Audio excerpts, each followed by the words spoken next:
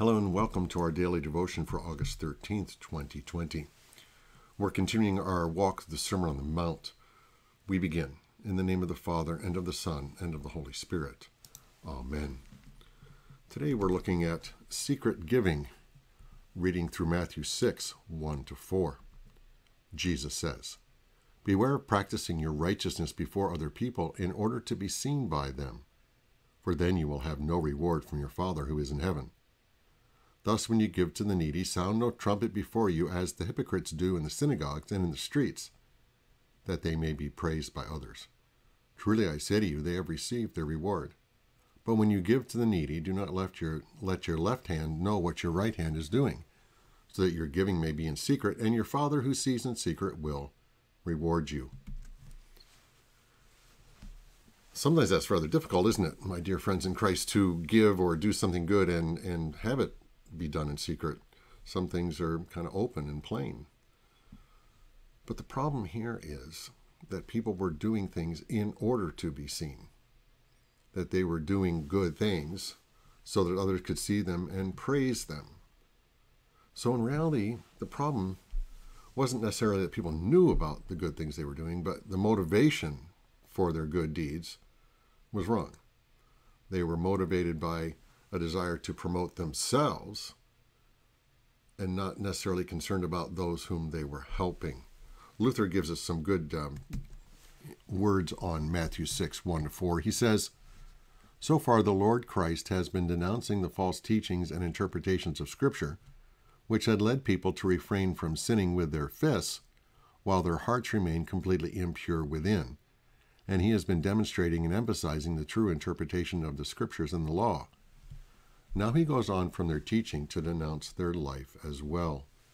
He attacks their good works, and he refuses to concede that they have anything good either in their teaching or in their works.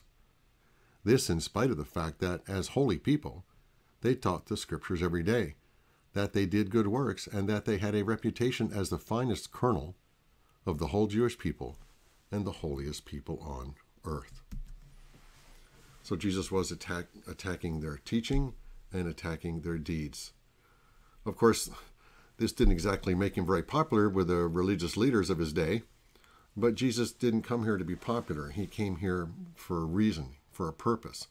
One, he did want to teach us. He wanted to teach the people of his time, and he wanted those teachings kept so that we, even in this day, a couple thousand years later, could have those teachings. And we do, and we're thankful for that.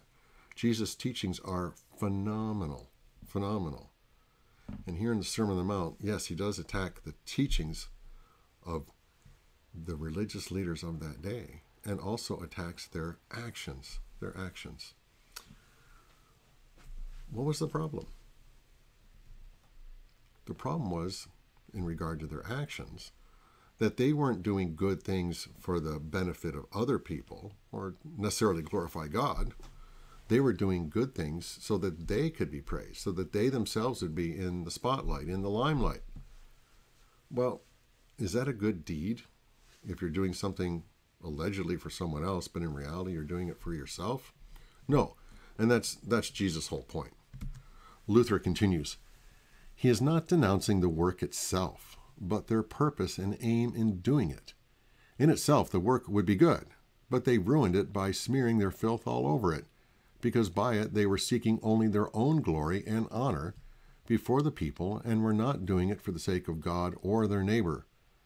Therefore, he pronounces a short and severe judgment that all such alms, regardless of how great or abundant or expensive they may be, are useless and valueless. Useless and valueless. And in some ways, they're even worse than that when we start to depend on our good deeds or our acts of righteousness as if they were going to save us, then we're really in trouble. Because the question is then, in whom are we trusting? If we're trusting in our acts, our deeds, then we're no longer trusting in Christ. And it's really bad when we're doing things for other people, or at least we're giving the impression that we're doing things for other people but in reality, we're doing those things for ourselves. And that was the problem. That was the hypocrisy. And that's what Jesus rebuked. and rebuked it clearly. He attacked their teachings.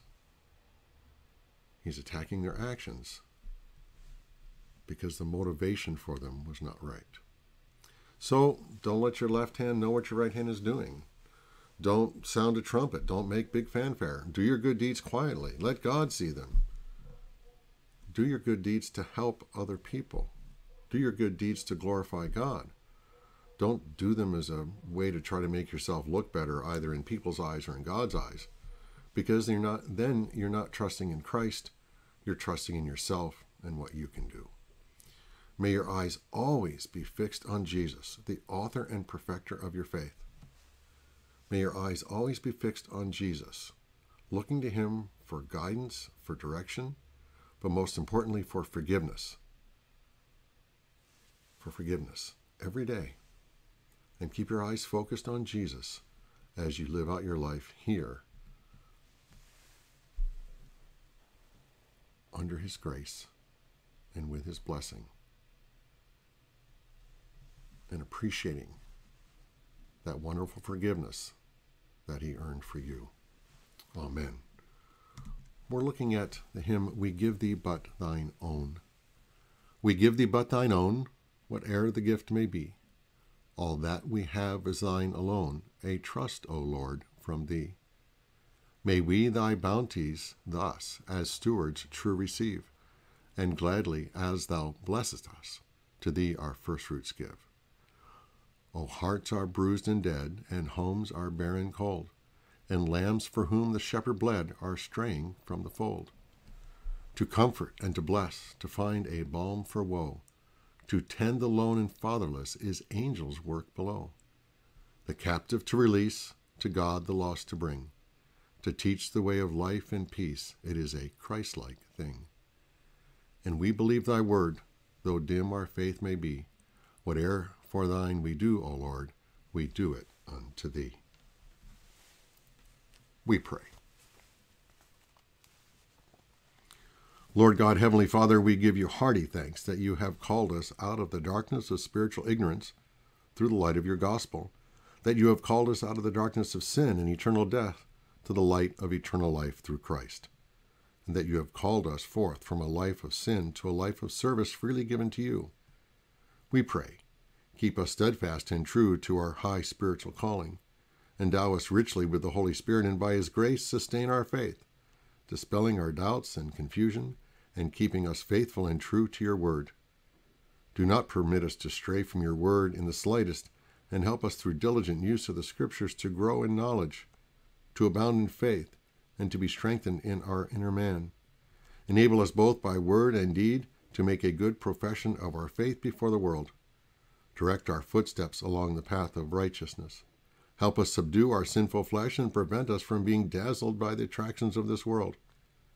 Restrain the devil and his wicked angels lest they threaten our faith and strike terror in our hearts. Create in us humble hearts so that we daily make confession of our sins. For Jesus' sake, forgive our sins and put our consciences to rest. Fill our hearts with such gratitude for your salvation that we gladly set about to bring the light of the gospel to those who are without Christ and without hope. Keep us from all thoughts, all speech, all desires, all deeds, which do not glorify the precious name of our Savior. Cause every Christian virtue to flourish in our lives. Teach us to pray without ceasing. Through the Spirit, put into our minds and hearts the things we ought to ask of you, and the names of those for whom our prayers are needed. O Father, be our strength, our hope, and our light. Guide and keep us through the years that remain until by grace in Christ we come to eternal life. In his name we pray. Amen. Our Father, who art in heaven, hallowed be thy name. Thy kingdom come, thy will be done on earth as it is in heaven. Give us this day our daily bread, and forgive us our trespasses as we forgive those who trespass against us. And lead us not into temptation, but deliver us from evil. For thine is the kingdom, and the power, and the glory, forever and ever. Amen. The Lord bless you and keep you. The Lord make his face shine upon you and be gracious unto you. The Lord lift up his countenance upon you and give you his peace. Amen.